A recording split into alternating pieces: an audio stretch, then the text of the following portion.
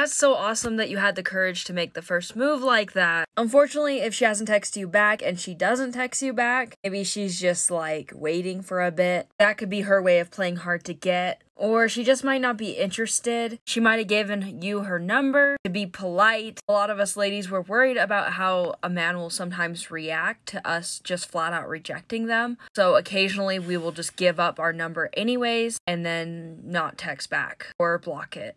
And I don't agree with it. I think women should be more blunt whenever possible. I understand if you're like in a dark alley or something, but out in public, you're pretty safe to just say, you know, no, thank you, I'm not interested. But if you have the courage to continue approaching women, more times you do it, the more likely you are to get a yes. I know it's not fair to you, and I think women should approach a lot more, if not all the time, but that's not the current reality we live in right now. So if you're hoping to end up in a relationship, you're unfortunately gonna have to make the first move. Or dating sites if you're into that, but again, first move. I really hate that.